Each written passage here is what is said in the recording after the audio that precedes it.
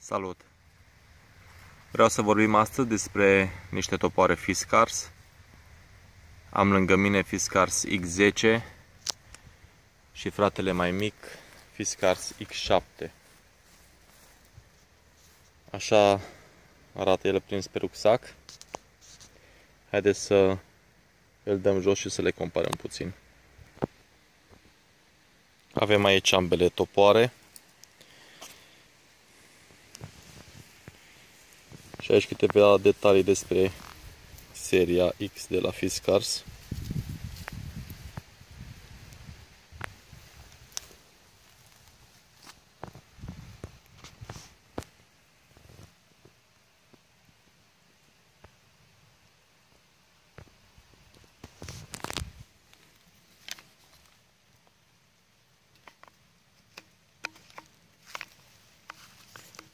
Vin în această teacă de plastic,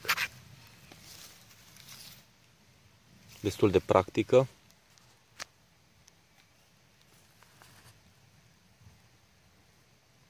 Și cu aceste teci topoarele se pot căra în siguranță.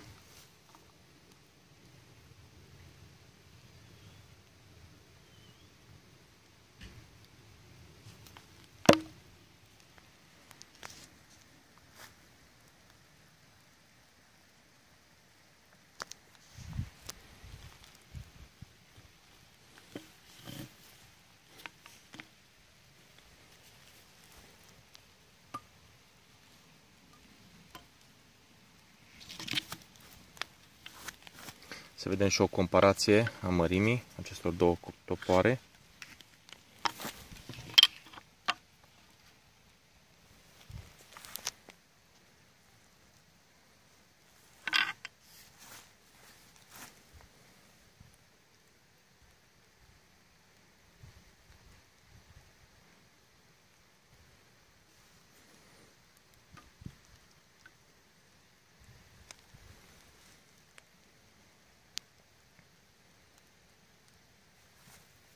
Din punctul meu de vedere, dacă vorbim de gama aceasta de la Fiskars, X7 este ideal de purtat în rucsac sau pe rucsac.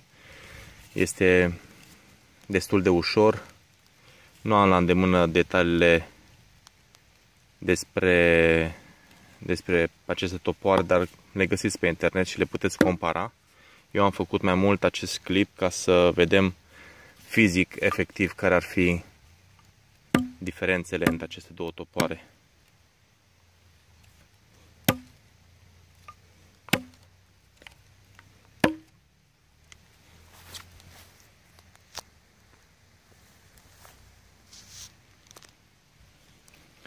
Acest X7 l-am cumpărat de la MOL în promoția de acum 2 ani, iar X10-le în promoția de anul acesta. Dacă X7 este mai ușor și mai ușor de cărat în rucsac, X10-le fiind mai greu, este puțin mai greu de cărat, dar uh, este mai ușor de lucrat cu el la sarcini puțin mai grele, mai dificile.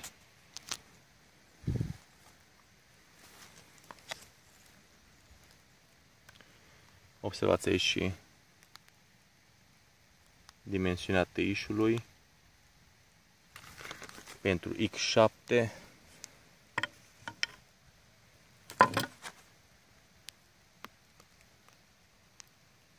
și pentru X10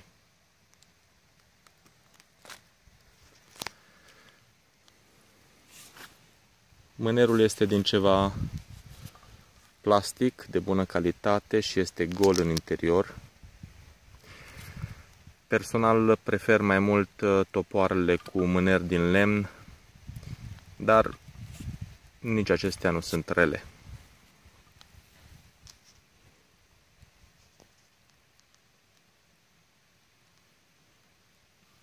Vă arăt puține detalii despre geometria lamei. Observați cum capul toporului, înainte să ajungă la partea din plastic, iese puțin în evidență ca să protejeze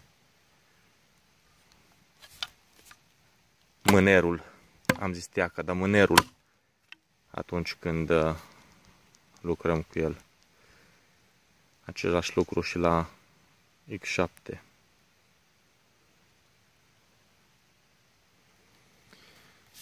Partea aceasta neagră cu care este dat capul toporului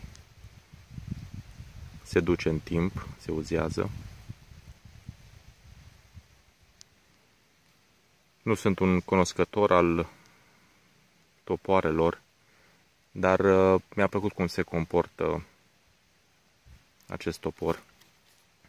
L-am ascuțit relativ ușor, își ține tăișul bine și mai mult ca până acum voi fi mai atent la cine îl dau să lucreze cu el.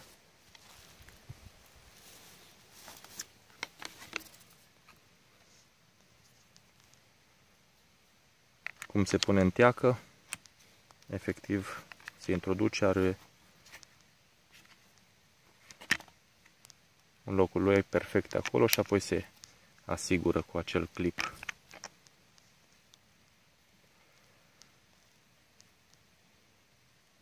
Se poate purta și la centură.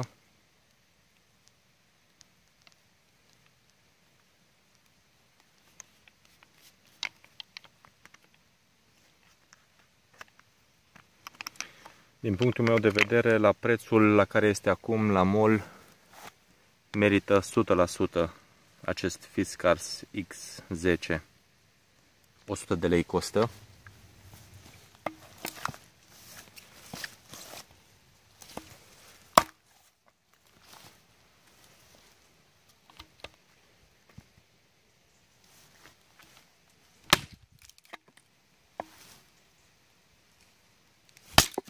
Acesta nu este un topor pentru despicat,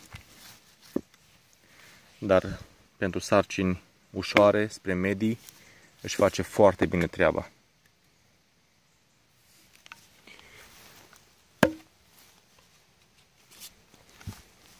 Iar X10 fiind mai greu, nici nu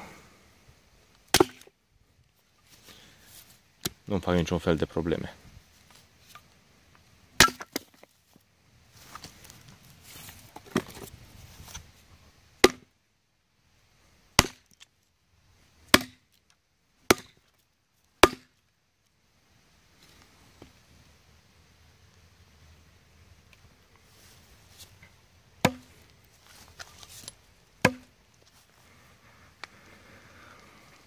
Dacă aveți întrebări cu privire la aceste topoare, vă rog să îmi scrieți în secția de comentarii și vă stau cu drag la dispoziție. Vă mulțumesc că m-ați urmărit și până data viitoare vă spun numai bine.